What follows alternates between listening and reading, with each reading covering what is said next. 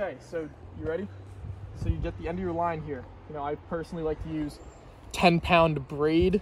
I know it's just It's of a smart decision. kind of a light line, you know, probably not catching anything more than 10 pounds. And braid, you know, it's just pretty strong sinks too.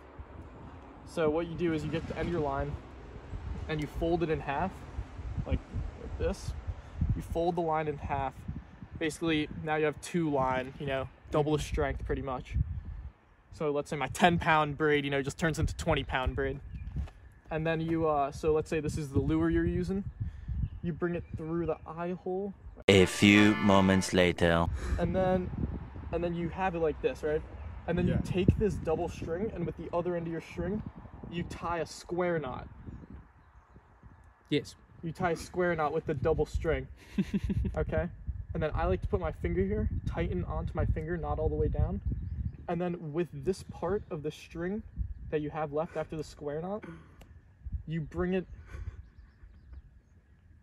Over. This is like six knots, bro. No, it's not. It's super easy. It's just the fold and the square knot. you Yeah. bring it you bring it um, you bring your lure or whatever you have through this hole and then you tighten